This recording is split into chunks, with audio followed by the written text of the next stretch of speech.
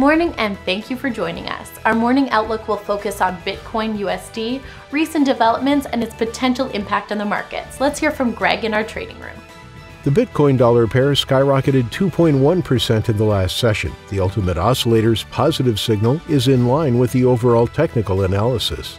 The euro dollar pair made a minor upwards correction in the last session, rising 0.1%. The stochastic indicator is giving a positive signal.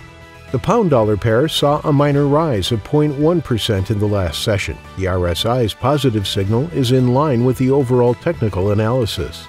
The Aussie dollar pair traded sideways in the last session. The MACD is giving a positive signal. Thank you for your insightful trading ideas. Moving on to world headlines. LG Display, one of the world's biggest makers of electronics displays, said it was bracing for lower prices in the second half of the year as the easing of COVID 19 lockdowns hits demand for TVs and other gadgets.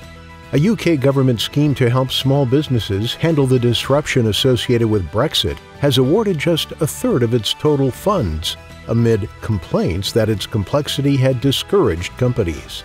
Seetee, a Norwegian investment company focused on Bitcoin, has become the newest investor in the Bitcoin and Lightning company Breez. Thank you. Now let's hear today's most important economic events. Australia's import price index will be released at 1:30 GMT. Australia's export price index at 1:30 GMT. Germany's harmonized index of consumer prices at 1200 GMT.